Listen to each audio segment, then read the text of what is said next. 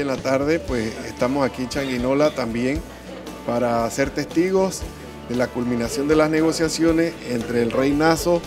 y sus 12 dirigentes y la empresa Bonjic, eh, conformada pues, por el Grupo de Inversiones de Medellín, Empresas Públicas de Medellín. Eh, hemos estado mediando eh, para que estos dos grupos se pudieran sentar y encontraran el camino pues, de la negociación, de resolver sus diferencias a través del diálogo y de la conversación y gracias a Dios eh, hoy pues culminamos con éxito esa etapa, ahora vendrá la implementación y que ambos grupos pues sepan que eh, cualquier diferencia, cualquier esto, necesidad que tengan, cualquier inquietud, debe ser a través del diálogo y de la concertación. Como bien ha quedado consignado en este acuerdo, nosotros vamos a ser garantes para mediar, para dirimir cualquier diferencia, al igual que cualquier autoridad nacional, según sea el tema. Así que en esto pues sentimos que hemos eh, dado bases a,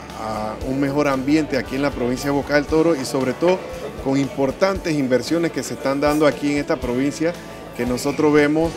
eh, hay un gran futuro para la provincia de Boca del Toro,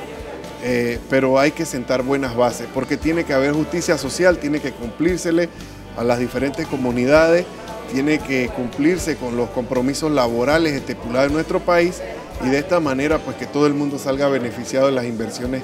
que están llegando aquí a Panamá y especialmente aquí en Boca del Toro.